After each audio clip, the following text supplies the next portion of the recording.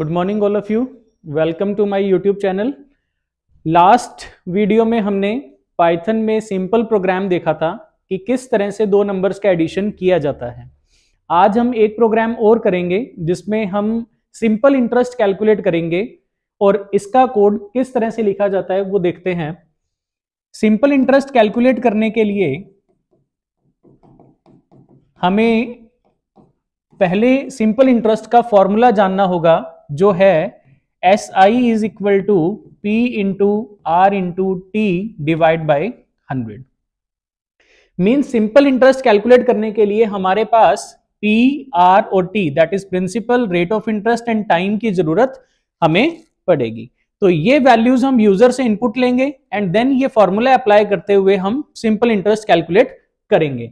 तो देखिए प्रोग्राम कैसे लिखते हैं। सबसे पहले हमने एक वेरिएबल लिया पी और इसका जो टाइप है, वो हमने फ्लोट ले लिया।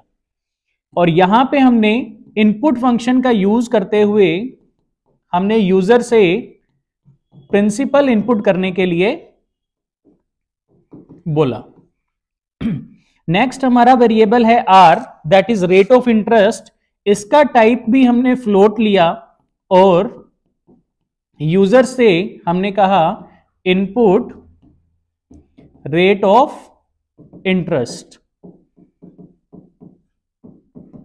मैंने आपको बताया था कि ये जो मैसेज हम यहाँ पे लिखते हैं, ये ऑप्शनल होता है, ज़रूरी नहीं है बट इससे यूज़र को आइडिया लग जाता है कि एक्चुअल में हमें किस वेरिएबल की वैल्यू इनपुट करवानी है।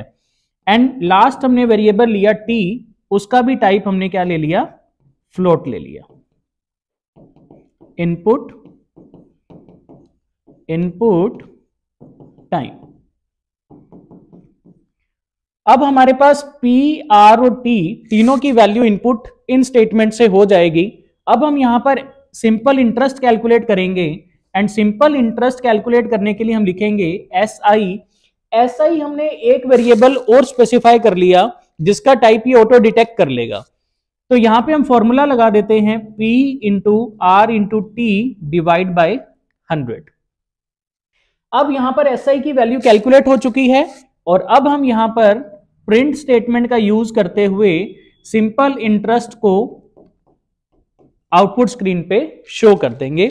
वो इस तरह से S I is equal to ये जो हमने इन्वर्टेड कॉमर्स में स्पेसिफाई किया, ये स्क्रीन पे एज इट इज़ एज लिखा हुआ आएगा और ये एस आई क्या है? वेरिएबल जो हमने यहाँ पे स्पेसिफाई किया था, यहाँ से वो वैल्यू कैलकुलेट करेगा और जो रिज़ल्ट है वो आपका स्क्रीन पे शो हो जाएगा।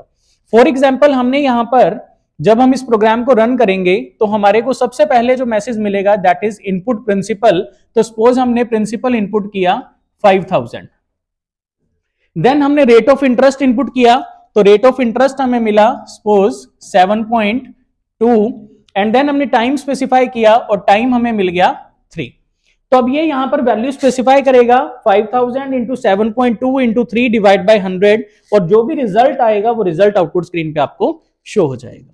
ये आपका एक सिंपल प्रोग्राम है, जो हम पाइथन में कि किस तरह से हम सिंपल इंटरेस्ट कैलकुलेट करते हैं। अब यहाँ पर जो हम ये स्टेटमेंट्स यूज़ कर रहे हैं, इन स्टेटमेंट्स को हम सिक्वेंशियल स्टेटमेंट्स कहते हैं।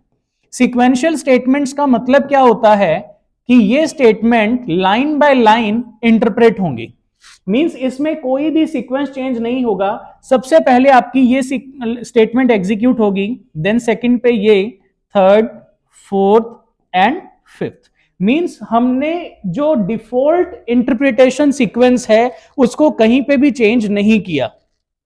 इसीलिए इन्हें सीक्वेंशियल स्टेटमेंट्स कहा जाता है। अब हम नेक्स्ट टॉपिक की ओर बढ़ते हैं, और वो नेक्स्ट टॉपिक हमारा होगा कंडीशनल स्टेटमेंट्स कि हम अगर किसी कंडीशन के बिहाफ पे डिसाइड करना चाहते हैं कि हमारी नेक्स्ट इंस्ट्रक्शन या नेक्स्ट स्टेटमेंट कौन सी एग्जीक्यूट होगी तो उसके लिए हमें कंडीशनल स्टेटमेंट्स का यूज़ करना पड़ेगा। तो देखिए कंडीशनल स्टेटमेंट्स हम किस तरह से यूज़ करते हैं? बेसिकली पाइथन में अगर हम कंडीशनल स्टेटमेंट्स की बात करें तो कंडीशनल स्टेटमेंट्स में हम बात करते हैं simple if if else, nested if else,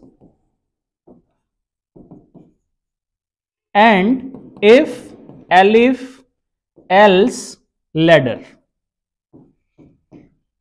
in four type से हम कंडीशनल स्टेटमेंट स्पेसिफाई कर सकते हैं। अभी हम नेक्स्ट जो बात करेंगे कि हम किस तरह से इफल स्टेटमेंट्स को लिखते हैं, वो हम नेक्स्ट वीडियो में डिस्कस करेंगे। Thank you